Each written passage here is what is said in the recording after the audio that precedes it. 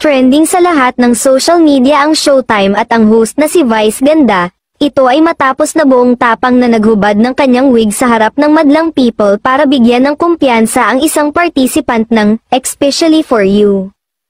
Ang tagal na panahon takot na takot ako dito hindi ako nagpapakita ng walang wig, nasa punto na ako ngayon na wala na kong pake at meron ng taong mahal na mahal ako kahit wala akong wig, hindi ko na kailangan, hindi na rin ako affected dun sa mga pangit na pangit sa akin kung walang wig.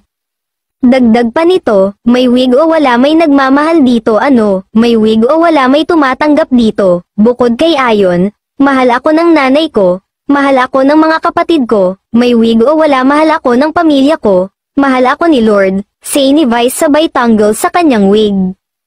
Si Vice ay nagtanggal ng kanyang wig para bigyan ng kumpiyansa ang participant na si April na kailangang magsuot ng wig, napangiti ni Vice si April dahil sa ginawa nito.